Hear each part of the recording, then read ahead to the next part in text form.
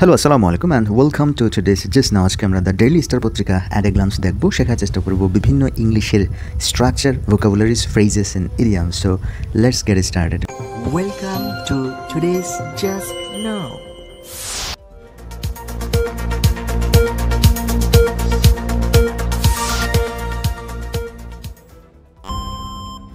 শুরুতেই আজকের একদম প্রথম যে হেডলাইনটি আমরা দেখতে পাচ্ছি এটি বলা আছে যে country must be back in business without delay so এখানে আমরা কয়েকটা অংশ পাচ্ছি। প্রথমে হচ্ছে কান্ট্রি এটি হচ্ছে কি আমাদের সাবজেক্ট মাস্ট বি ব্যাক দেখুন এই যে মাস্ট বি ব্যাক এটা একটা সুন্দর ফ্রেজ কেউ যদি ব্যাক করতে চায় কোনো কিছুতে, আমরা এই ফ্রেজটি ব্যবহার করতে পারি। যেমন ধরেন, আমাদেরকে পড়াশোনায় ব্যাক করতে হবে, অবশ্যই ফিরে যেতে হবে। তো আমরা বলব কি যে we must be back in study we must be back in study so country must be back in business এর মানে হচ্ছে দেশকে ব্যবসায় ফিরে যেতে হবে, ফিরতে হবে।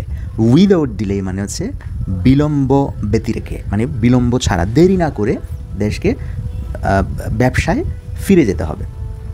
ওকে আমরা একটা সাব হেডলাইনের দিকে দেখি। দেখুন, এইখানে প্রথমে একটা হচ্ছে ব্যাংকার্স ফ্যাক্টরি ওনার্স মানে ফ্যাক্টরির মালিকরা, আপনি বলতে পারতেন the owners of the factory ওইভাবে বড় না করে সরাসরি আপনি ফ্যাক্টরি ওনার্স বলে দিয়েছেন স্মার্টলি হয়ে গেল ফ্যাক্টরির মালিকরা।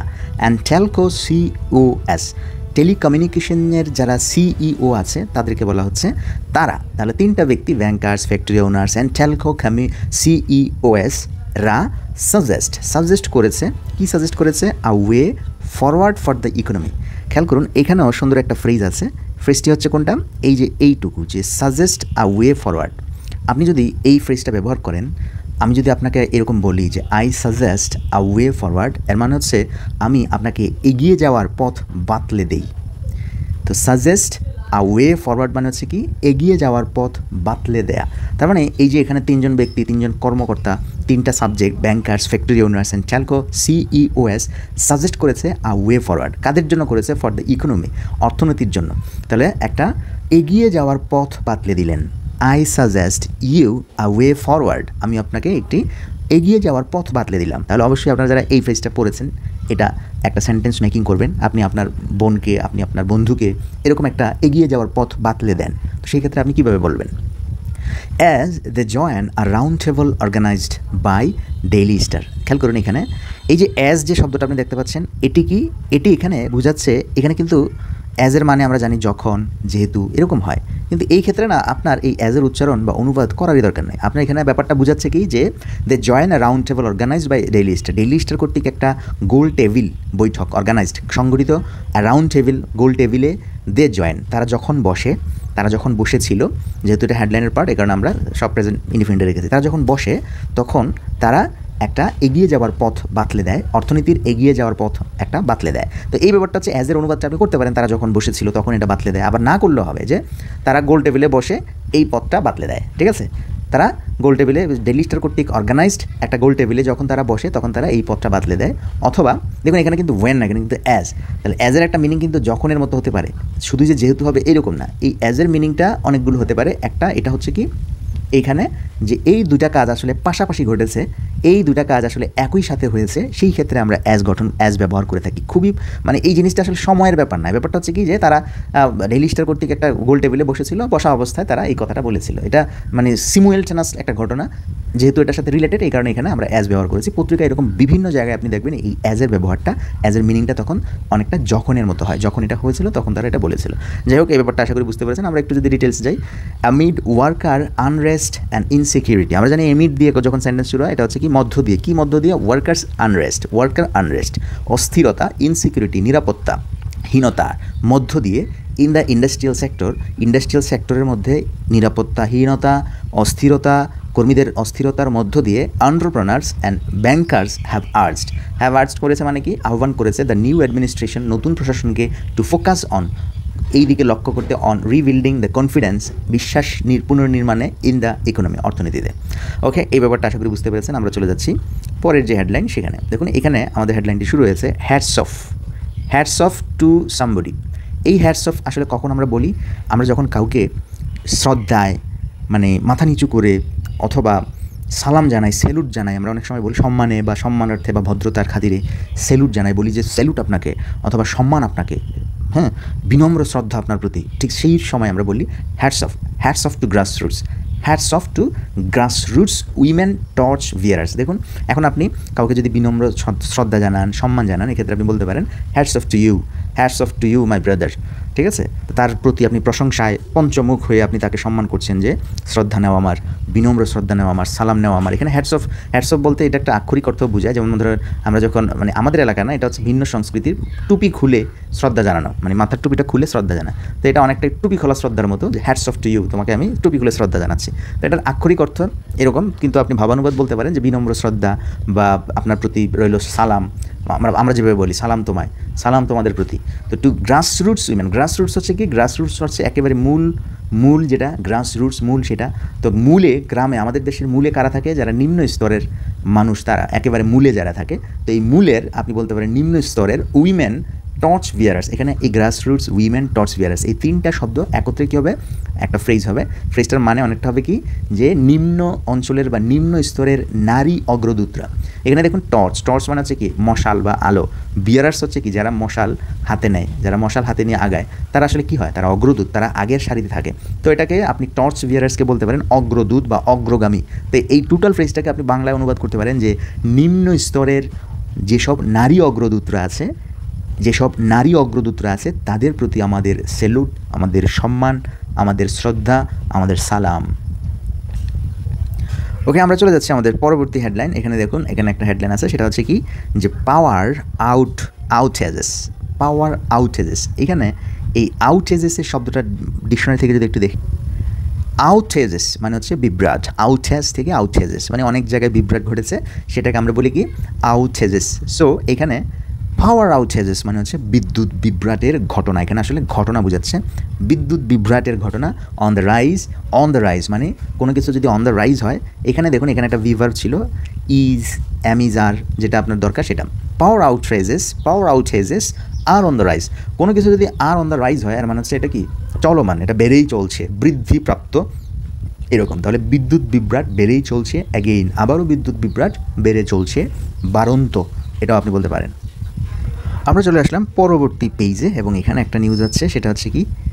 দেখুন, এখানে বলা হচ্ছে ফ্লিং পারসিকিউশন ইন মিয়ানমার এখানে খেয়াল করুন, এখানে যে শব্দটা প্রথমে, সেটা হচ্ছে ফ্লিং ফ্লি থেকে ফ্লিং আর এখানে হচ্ছে পারসিকিউশন নির্যাতন আর এখানে হচ্ছে ইন মিয়ানমার মিয়ানমারে তো এই ব্যাপারটা আসলে কি, এই ফ্লি যখন ভার্ব হিসেবে বসে, তখন ফ্রম ইউজ করতে পারেন ফ্রম সামথিং ইউজ করতে পারেন অথবা সরাসরি ফ্লি সামথিংও ব্যবহার করতে পারেন, ঠিক আছে? যদি বলা হয় I am fleeing I am fleeing from persecution অথবা I am fleeing from prosecution from দিয়ে বললে ব্যাপারটা একটু বেশি বোঝা যায় আমাদের দেশে, তবে এই দুটার ব্যবহারই আছে। খুবই ফর্মাল ব্যবহার করলে এটা আই অ্যাম ফ্লিং প্রসিকিউশন মানে আমি নির্যাতন থেকে পালাচ্ছি, নির্যাতন থেকে বাঁচার চেষ্টা করছি বলতে ফ্লি শব্দটা ব্যবহার হয়। তাহলে fleeing prosecution in Myanmar Myanmar থেকে মিয়ানমারে নির্যাতন মিয়ানমারের নির্যাতন থেকে পালিয়ে মিয়ানমারের নির্যাতন থেকে পালিয়ে রোহিঙ্গাস রোহিঙ্গারা ইন হান্ড্রেডস খেয়াল করুন, এখানে একটা ফ্রেজ সেটা হচ্ছে কি somebody in hundreds somebody in hundreds আমি যদি বলি ইউ ইন হান্ড্রেডস মানে তোমরা শত শত হয়ে। রোহিঙ্গাস ইন হান্ড্রেডস মানে রোহিঙ্গারা শত শত দল বেঁধে, শত শত রোহিঙ্গারা, এভাবে আপনি বলতে পারেন। ইংলিশের এটা একটা স্ট্রাকচার এইভাবেও লেখা যায়। রোহিঙ্গাস ইন হান্ড্রেডস গ্যাদার মানে শত শত দলে একত্রিত হচ্ছে, জড়ো হচ্ছে অ্যাক্রস দ্য বর্ডার বর্ডারের জুড়ে বর্ডার পাড়ি দিয়ে জড়ো হচ্ছে। বর্ডার পাড়ি দিয়ে তারা কি?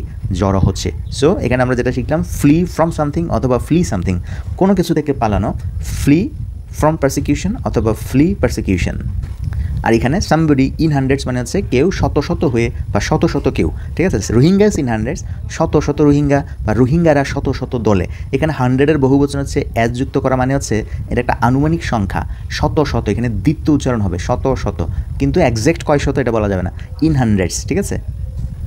আমরা চলে আসলাম আজকের এডিটোরিয়াল পেজে দেখুন, এখানে একটা এডিটোরিয়াল ছিল, সেটা হচ্ছে কি can we change the story of our banks আমরা কি আমাদের ব্যাংকের স্টোরিটা চেঞ্জ করতে পারব? Can we change the story of our banks তাহলে এটা বোঝাচ্ছে যে আমরা কি আমাদের ব্যাংকের যে কাহিনী স্টোরি গল্প, সেগুলোকে চেঞ্জ করতে পারব? রিস্টোরিং ট্রাস্ট রিস্টোরিং ট্রাস্ট মানে হচ্ছে কি বিশ্বাস পুনঃস্থাপন ইন দ্য সেক্টর এই সেক্টরে ক্রুশালি ইম্পর্টেন্ট খুবই গুরুত্বপূর্ণ ক্রুশালি ইম্পর্ট্যান্ট আরেকটা এডিটোরিয়াল এখানে লেখা আছে, সেটা হচ্ছে কি stop armed violence at Geneva camp Geneva ক্যাম্পে আর্মড ভায়োলেন্স সশস্ত্র সংঘর্ষ বন্ধ করুন।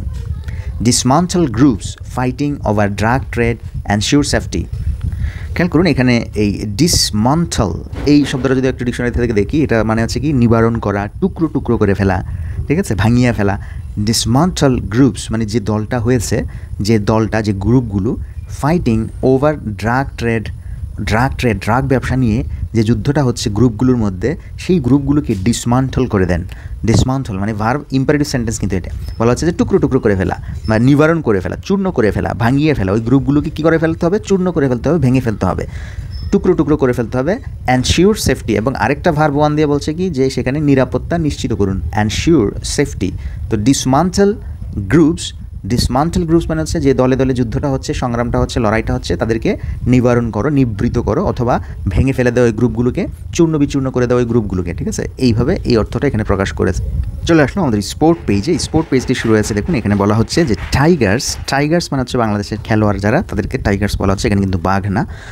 লুক টু টেক ফাইট এই ফ্রেজটার দিকে একটু খেয়াল করবেন।